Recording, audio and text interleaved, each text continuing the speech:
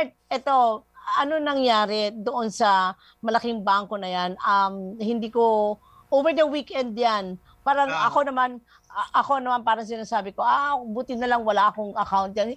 Pero hindi ganun dapat ang reaction, hindi ba, ah, Art? So, uh, una sa lahat, uh, nagbigay na ng assurance ang uh, BDO na Oo. ibabalik lahat yung mga nawalang uh, pera Aha. nung mga naging biktima nung uh, cybercrime na to. So, Okay. walang dapat ipag-alala yung mga tao, wag niyong i-withdraw yung pera niyo, wag kayong lilipat ng ibang bangko kasi may assurance na galing sa sa BDO na ibabalik yung mga pera dahil sa cybercrime na to. Ang Oo. nangyari, Mhm. nung ah, nung last week, meron ng mga reklamo na nawawala yung pera nila. Okay. Pero sinasabi ng ng BDO na ah, dahil sinyer mo yung account mo, sinyer mo yung password mo, kaya na-compromise yung account mo. So yun yung Ah. sinasabi nila. Oo, Pero oo, oo. bumuhos kasi ang sobrang dami ng nabiktima nung Sabado. Mm-mm. Mhm. Ginawa to ng mga kriminal na doon sila kumuha ng mga pera kasi una, pag Sabado, walang technical support na. Alas 5 na yun eh. Tama, Mm. tama. Pag nagko-complain ka, wala nang babasa doon sa complaint mo. Ang Tama. babasa, babasahin yun sa man- Monday na. Monday. So ginawa Oo. ng mga kriminal, kumuha sila ng mga pera kasi 50,000 ang limit ng ng BDO. Mhm. Kumuha sila ng mga 50,000 o 25,000 doon sa mga account holder ng BDO. Tapos, tinransfer sa Union Bank. Okay. Mhm. So, nung na-transfer sa Union Bank, may nakita akong mga 20 ah, account numbers na may iba-iba ang pangalan. Pero ang pinaka-prominente yung pangalan doon, makikita mo yung si Mark D. Nagoyo. Mhm. Dinago. Pangalan pa lang dito. Oo D. nga. Nagoyo.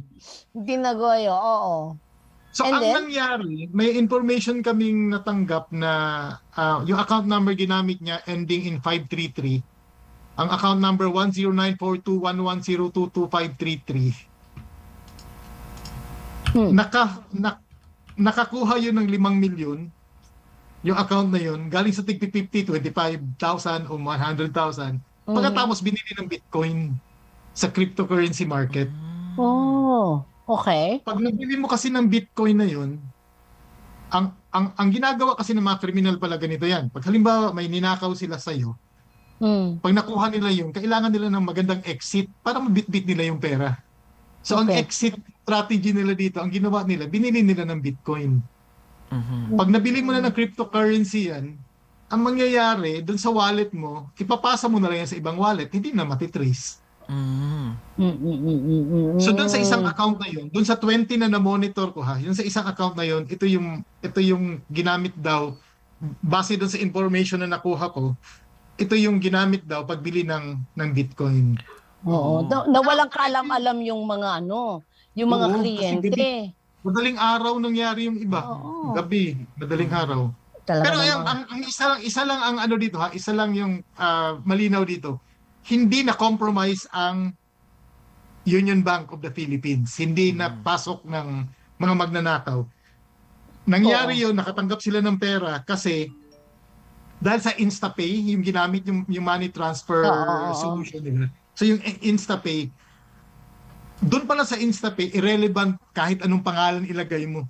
Kaya meron kami nakitang pangalan na ah, G, GD, DVD, GHDD. Mm. So ganun lang, kahit anong pangalan lang itatype nila. Mario Joseph. Oo, pero Art ang tanong, ang laki-laking bangko niyan. Hindi ba? Tapos sa- sabi ko nga kanina, kaya ka nga nagbabangko, ang feeling mo safe ka. 'Di ba? Pero napasok pa rin ito. Ganun katindi yung, kri- yung mga kriminal na ganyan. And aminado naman si aminado naman ang BDO na yung system nila papalitan na nila next year. Kasi 10 years old na tong system na ginagamit nila. Ibig sabihin nito, ah, marami na mas bago ditong system. So aminado sila na papalitan na dapat to. Mm, Mhm. Kaso lang naunahan sila napasok yung yung sistema nila.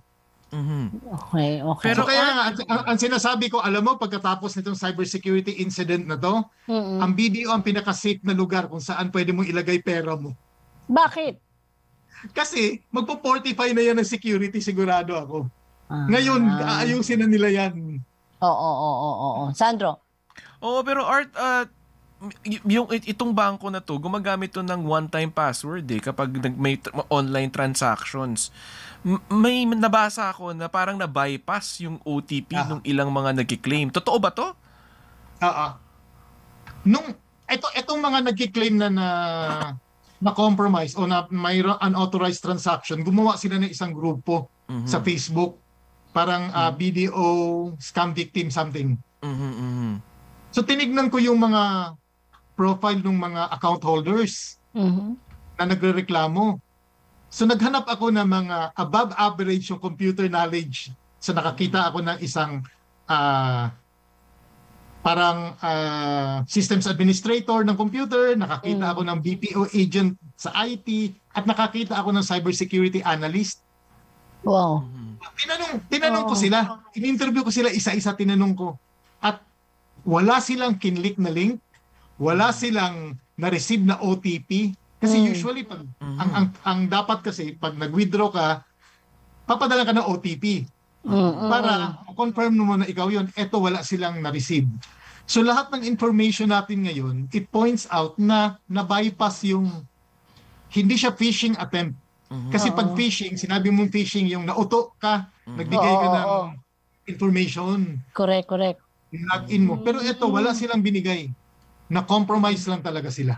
Okay. Mhm. Doon At- sa, Mhm. bukod doon, ah, sorry ah, Sandro, bukod doon Mm. sa pera, wala ba yung information na nakuha din dito sa mga biktima na ito?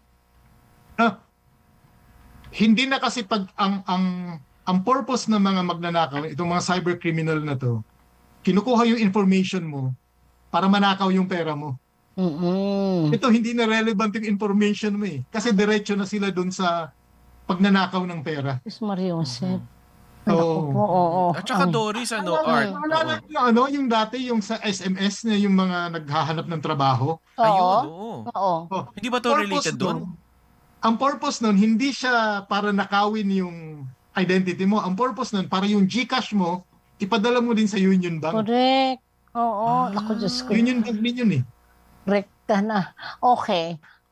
Sandro, you were asking? Oo, hindi Hmm. ba ano yun nga, yun an- an- may connection kaya ito Hmm. doon sa naglipa ng mga text scams nitong mga nakalipas na linggo kasi parang nakakapag nakakapagtaka naman na Mhm. parang sunod-sunod parang a couple of weeks ago ang daming nagrereklamo na nakatanggap noong uh, Mhm. text scams nga na yun tapos biglang here we are biglang merong ganitong incident Ano naman, oh, oh. So pwedeng pwedeng merong pwedeng merong pwedeng merong connection. Ah, Mhm. pero uh, ang dami kasing mga ang dami kasing mga scammers ngayon, ang dami mga hackers ngayon. So ah, pwede naman independent din silang ah, gumawa. Ang naging problema pa ngayon, ang dami ng ah, ang dami ng umaangkin na. Kami yan, alam namin yan. Winarningan namin dati yan eh. Mhm. Ayaw kasi magbayad kaya hinak namin. Mga ganun na mga ganun na mga ah, claims ngayon. Kaya wag wag kayong maniniwala sa ganung mga claims.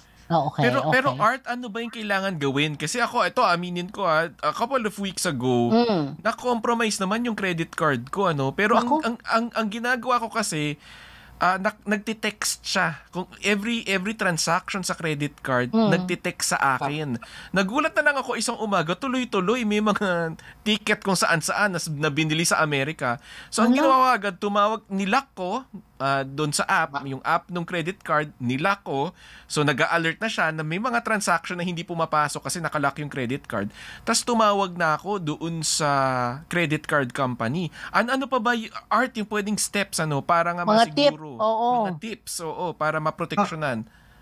Tama, dapat ilak mo. Parang ito, itong nung nangyari ito nung nung Friday. K- Kasi hindi to Saturday lang nangyari, buong week Mm. nangyayari na to. So nung nakita ko may activity siya nung Friday na ganito, in-inform ko na yung mga kakilala ko, yung relatives ko, saka mga Oo. kaibigan na ah ilak niyo yung ano niyo, ilak niyo yung online banking access niyo Uh-huh. sa video kung meron kayong video at i-monitor niyo. Tapos in-inform ko na yung mga editors saka employees ng Manila Bulletin na, uy, Mm-mm. ingat tayo dito, may nangyayaring activity. Baka manakawan tayo ng, manakawan kayo ng pera, ilock nyo na yung ano nyo, i-deactivate nyo yung access sa online banking. So ito Correct. yung pwede mong, pwede mong gawin. Kasi ang nangyari ngayon is system compromise. Kahit anong palit mo ng password. Kung Mm-mm. na-compromise yung system, useless yung pagpapalit mo ng password. Ulit ka lang ng ulit, 'di ba? Hanggang sa malalak ka na mismo kasi ilang beses Oo. ka na nag-try. Ganun yata na parang- nangyari sa parang- kapatid ko na si Pam. Oo. Parang, parang nilock mo yung pinto mo na nandun na yung magnanakaw sa loob ng bahay mo. Ay, Mariosep. Mhm. Eh, bukod Oo. doon, ano pa ang pwede mong gawin? Kasi ah, art mga professional na mga ano to kriminal. So ano Oo. ang laban mo ikaw? Ah, wala ka namang um, hangarin sa buhay kundi mag-ipon ka lang. Yung pera mo na pinaghirapan, ilalagay mo dito sa kilalang bangko na ito. Feeling mo safe na safe ka. So ano pa ang pwede mong gawin? Aside from sinasabi niyo ni Sandro na ilalak yung yung ah, account. So ang maganda dito, dahil malaking bangko ang BDO at under siya ng isang napakalaking kumpanya at nagbigay na sila ng assurance na Mm. walang mangyayari, babalik namin yung pera nyo. So pwede na nilang ah, pwede nilang ibalik yung mga pera natin. So Oo, kaya oo. ah, ang ang una mong gawin, kailangan maglagay mag mag maglagay ka ng pera mo sa bangkong kilala at sa bangkong malaki na gaya ng nitong bangkong to. Oo. Mhm. Tapos, ah, lagi natin ingatan yung ah, login name and password natin. Pero dito kasi sa case na to, walang, walang nangyari kasi ang tingin namin, system compromise talaga. Mm. So wala tayong magagawa nito, kundi, ayun lang, i-deactivate natin yung online banking access natin. and hope At na yung maayos. bank oh, at and hope na yung bangko ay talagang palitan na nila yung kanilang system. Mhm. Tama. Oo. Ayun. So yun na yun. Mhm. At Mm. ah, due, due for ano na daw eh, replacement na yung system nila. Yun na nga ang katanungan ko kasi sabi mo, nagbigay naman ng assurance ang BDO na ibabalik yung pera. Ah. Pero ano ang assurance na hindi na mangyayari ulit yun? Ah, Wala, di Wala, ba? wala, wala. Oh, wala tayong assurance. At at ang problemang to hindi to exclusive sa hindi to exclusive sa BDO. Oo. Pwedeng mangyari din to sa ibang financial institutions. Ay, sus Mm. Mariosep. Naku, At saka, oo, Art, ta- tanong ko lang din ano, kasi nakaugalian na yung ATM, may kakambal siya na debit card.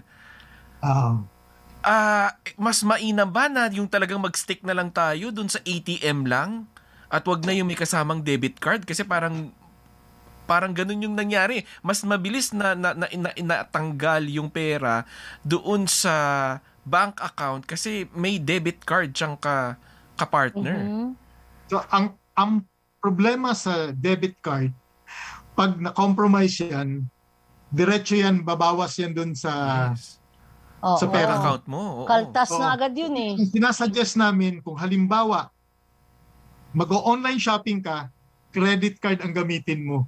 Kasi pwede kang mag-file ng dispute, pwede kang magreklamo. Mm. At i-reverse yan kung may mga scam. Ah, So laging ginagawa ng credit card, pag legitimate yung claims mo, ibabalik yan. Sa debit card, nanakaw na yung pera mo, ang hirap ibalik. Lalo na pag napatunayan nila na kasalanan mo kasi binigay mo yung mga detalye mo. Di wala akong credit card. Ayoko nagka-credit card. na. Ayaw ko. Oo. Unang-una, wala naman talagang pang credit card. Ay, Nako. Sige, titignan ko kung meron pang iba mga ta- katanungan dito. Um, Sandro, ikaw. Oo, ang ang tinatanong naman nitong si ah, Desiree, eh, yung ah, GSIS pala, kapartner Oh. nitong Union Bank. Ah, wala namang ano, wala namang problema doon sa Wala wala Ganun, wala oo. problema sa walang problema sa Union Bank. So, ah wala hindi na compromise ang system ng Union Bank. Mhm. Yun lang ang ano ngayon, ang sigurado tayo. Mm. Nagamit lang siya na pag-transfer. Nagamit lang siya. Oo, nagamit lang siya. Si Ay- Ito ha, Oo, go. ngayon pa lang, ngayon bago bago tayo mag-usap, PNB naman ng mga depositor ang tinatarget. Ha? Oh, my. PNB. Merong merong scam Mhm. page, merong fake page na ginawa kung saan nakalagay doon PNB login page. Na ang tao pag pinadala ng message na yon na may mga illegal transaction daw, pag pumasok ka doon, makukuha na yung detalye mo. At ang at ang web page na to na fake na Mhm. PNB account nakalagay sa isang government website banate.gov.ph isa tong municipality sa Panay So kaya dapat gawin ng gobyerno, i-down na kagad tong site na to, baka magkaroon pa tayo ng maraming biktima na naman. Just now yan nangyari, ah, Art. Ngayon, ngayon, ngayon lang, oh. Oo, na, naku, sus Mariosep. So ano ang panawagan mo sa gobyerno? Nakuha na ang impormasyon na, na booking nyo na yan. So anong dapat gawin? Anong aksyon ang gagawin para ikaw nga hindi na magkaroon na mas marami pang biktima? Oh, dapat i-down kagad itong site na to. Banate. banate.gov.ph. Ang Banate ay isang municipality sa sinearch ko municipality siya sa Panay. So .gov.ph siya, ibig sabihin registered siya na government website Oo. at ginagamit ngayon ng mga cyber criminals para makakuha at makapagnakaw na naman ng mga detalye ng mga tao. Mm-mm. Mm, so Art, yung bakit? mag- kailangan ba magpanic yung mga tao na merong PNB account? Hindi naman, hindi naman kasi pag di mo pinasok yung pag di ka nagpauto, Mm. walang problema. Mhm. Ang phishing kasi ginagawa ng mga kriminal na to. Ang ginagawa ng mga kriminal na to, hanapin ko yung ano. ha. Yan. Ginagawa ng mga kriminal na to, niloloko tayo. Nagpapanggap sila na sila na na legitimate organization sila, na legitimate nakakilala mo ito. Oo. So, nandyan lagi itong mga kriminal na to. So pag gumamit sila, ah, naghahanap talaga sila ng mga biktima. Mhm. So, hindi siya nagdi-discriminate kung sino tinatarget nila in the basis of race, religion, nationality, or gender. Pag naghahanap sila ng biktima, they won't look at your sexual orientation, social class, or economic status. Tapos, as long as makakakuha sila sa iyo ng pera, di sila baliwala sa kanila kung may disability ka o kung ano ang edad mo. Nanakawan ka talaga ng mga to. Kaya mag-ingat tayo sa pag-click ng links, Mhm. mag-ingat tayo sa pagpunta sa mga websites na na fake. Mhm. Malalaman mong fake kasi iba yung URL, iba yung address niya. Okay. So okay. ito yung ito yung mga dapat ito yung mga dapat ingatan natin magpapasko ang daming mga nauuto, ang Ay, daming totoo. mga naluloko. At pag Correct. naloko ka, hindi ka i-reimburse ng bangko pag ikaw yung mismo yung nagbigay nung detalye mo. So hindi kasalanan ng bangko 'yan. Okay. Okay. Uh, Art, bakit kaya nangyayari to, no? Kasi at maalala natin a few years back, nagkaroon ng malaking ano, malaking investigasyon sa Senado kasi nga nailipat mula doon sa Central Bank ng isang bansa, nailipat dito sa Pilipinas. Ano, ah. ano yung ano, ano yung ibig sabihin nitong mga ganitong pangyayari? Yung yung ano 'yon, yung sa Bangladesh na ano, Ah, yes, na bangko. Bangladesh. Oo, Ah, oo, oo. ah, yung yung yung scam na yon. Mhm. Pero ano yun eh? Ah, talagang pinagplanuhan yun. Ang tagal pinagplanuhan yun halos isang taon bago nila nagawa. So ang ginawa lang nila noon, naghanap sila ng medyo mababang ranggo na empleyado. Tapos pinasok nila, inuto nila, binigyan ng mga links. Nung kinlik Mhm. yung link, tawag ng privilege escalation, nakapasok na sila sa network, naghanap na sila ng butas. Mhm. Kung paano. Jesus Maria Josep.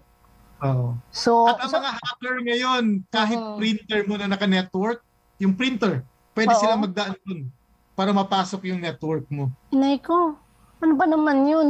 Itong mga ito, itong mga kriminal na ito, nandito lang yan sa Pilipinas, Art. Ay, yung ano, yung sa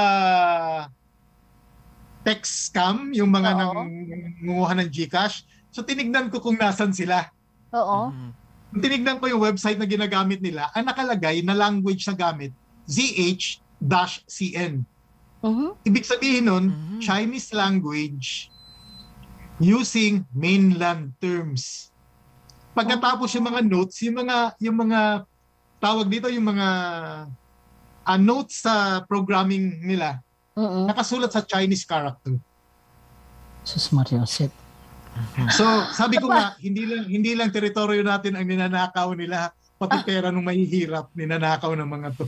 O sige, nakawin nyo na lahat, Jesus Maria Josep kayo. Hindi ba? So, pwede international crime syndicate din to, gaya nung nangyari dun sa nakaraang ano, nakaraang ah, campaign nila. Tawag kasi diyan campaign. Oo. Smishing campaign, phishing campaign. Ah, ano itong particular na nangyari doon sa malaking bangko? Anong tawag doon? Hindi naman siya phishing. Anong tawag? Ano daw Phishing, termino? oo. System compromise talaga. System compromise talaga. Okay. Mhm. Mhm. Ito, Sandro. ito Art, Hmm. ano, may tanong si Mary Ann.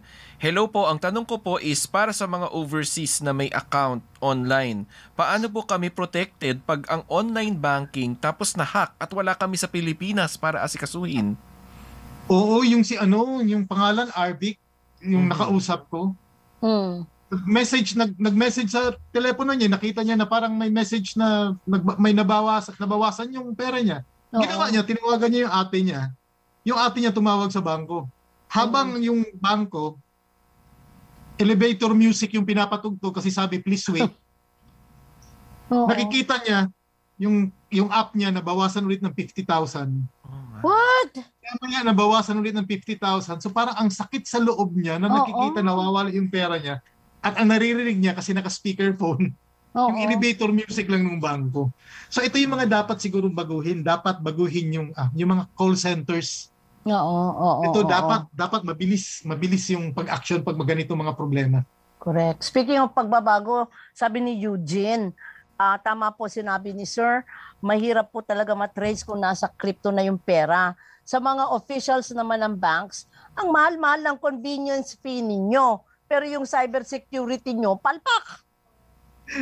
Hindi, ano lang talaga, na timing, ano lang to, malaking chamba lang to. Ah, Kasi, Talaga? kasi papalitan na dapat nila yung system eh. Tapos biglang Mm. naging ganito. Okay. Kung bakit ba naman na, nahuli ng kaunti pa, ano mo? Sana Ah, hindi ano? nangya. Oo, pambihira. Or, pwede rin ba na inside job?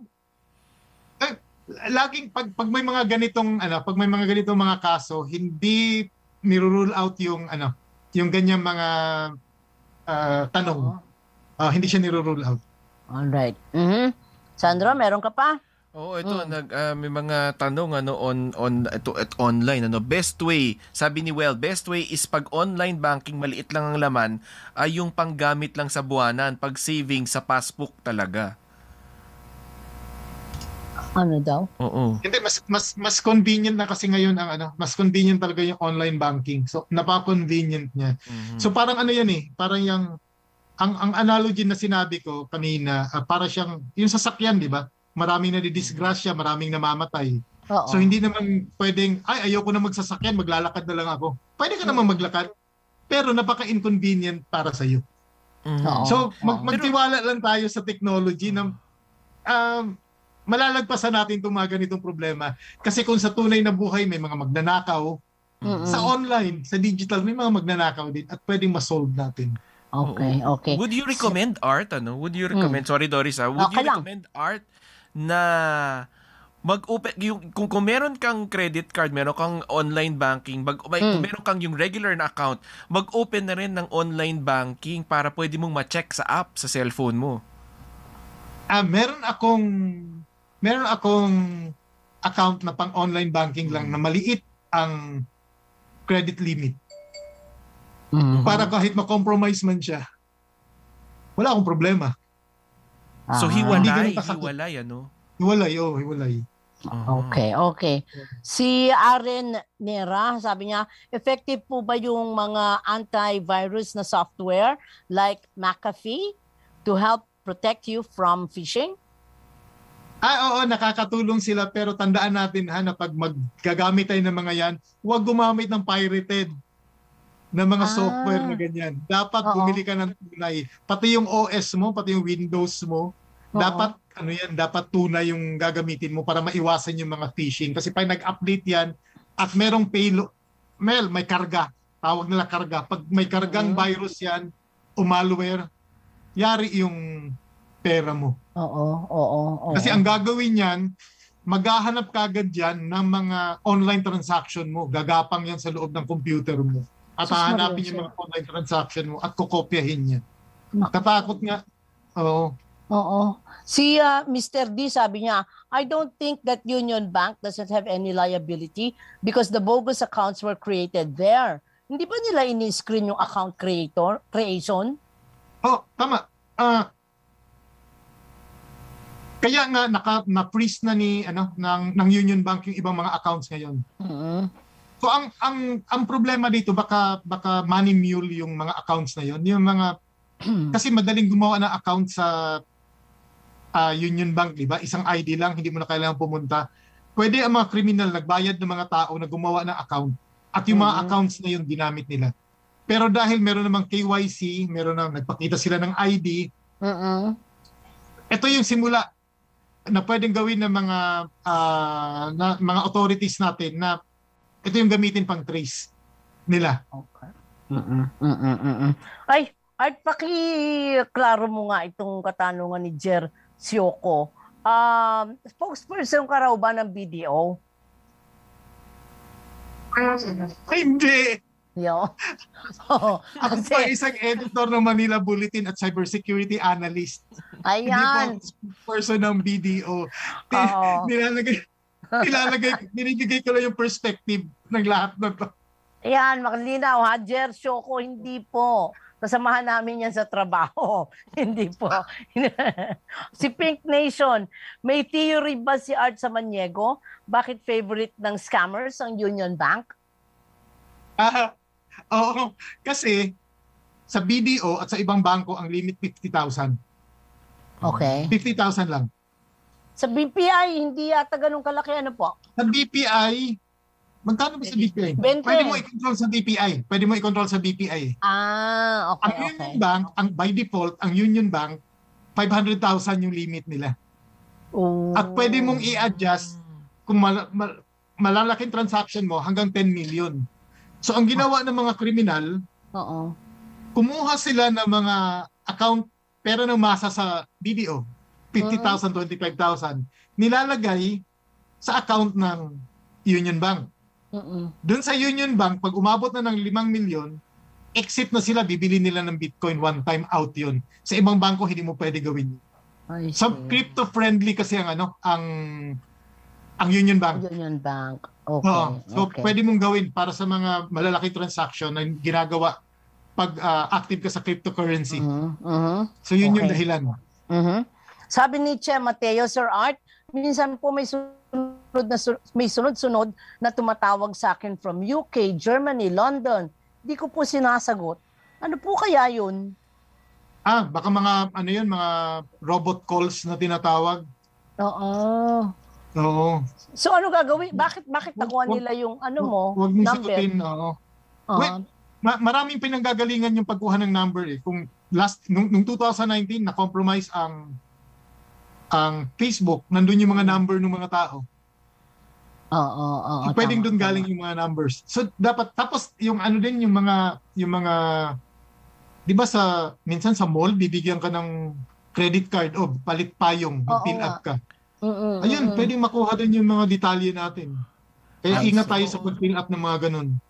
Naku, Correct, Art, hindi ba ano, hindi kaya to nanggaling din doon sa mga pinipirmahan na ah, imbes na kung wala kang QR code, 'di ba naglalagay ka ng ano, ng mga detalye mo doon sa mga maliliit na papel, yung Oo. pang kwa- Ah, oh, poss- possible possible na gawin 'yun pero ah, hindi 'yun ang dahilan kung bakit nakukuha yung mga ah, kung bakit nagpapadala ng mga smishing.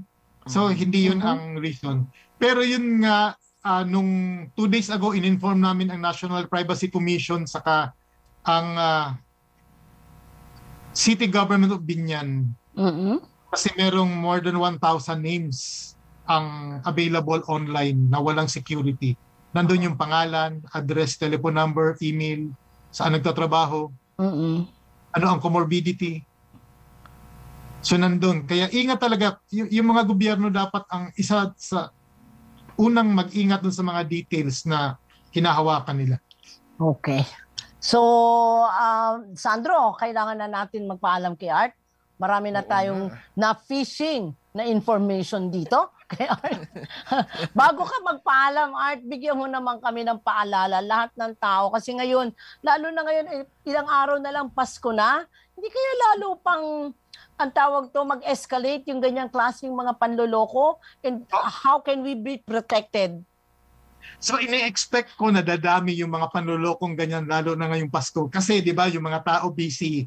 Pagkatapos madadagdagan pa ng mga add to cart mo. Oo. Marami kang matatanggap na email, marami kang matatanggap na text messages na ang gagawin lang sa iyo para i-click 'yan Mm. at mag-login ka ng mga personal information. Kaya kaya ang, ang panawagan namin sa mga kumpanya pati sa mga bangko, wag na wag na kayong wag naman kayong gumawa ng promo na ipapadaan nyo sa text tapos magki-click yung tao. Kasi Mm-mm. ginagawa to ng mga kriminal eh. Mm, mm, mm, mm. Tapos sa mga nanonood ngayon, dapat dapat tandaan na ah, pag pag naging biktima ka ng cybercrime, Mm, mm. parang nahawa ka ng COVID-19. Kasi hindi lang ikaw apektado. Kundi apektado lahat yung mga taong malalapit sa iyo, yung lagi mo nakakausap online. Kasi sila ang unang tatargetin ng mga kriminal na to. Inay. Sus Mariosep. So napakadelikado. So dapat lang talaga iba yung pag-iingat at wag ang hirap bang sabihin, pangit man sabihin, 'di ba? Pero siguro dapat SF-SF pagka ako pagka ganon hinihingi yung link o, o hini, maghihingi ng impormasyon ay ayoko na. Ayoko na, 'di ba? Ganun Tama. na lang ang gawin. Okay.